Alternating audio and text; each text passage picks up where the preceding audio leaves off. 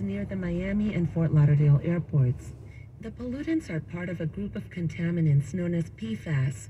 Those include thousands of man made chemicals found in things like fast food packaging, non-stick cookware, and some cosmetics. Some of the areas with lower total PFAS levels include Key Biscayne, Kendall, Cutler Bay, West Palm Beach, Lake Worth, Boynton Beach, and Boca Raton. In a press release, the lead professor says the goal is not to create panic, but to spark regulations that would remove the chemicals from the environment. I'm Veronica Zaragovia in Miami.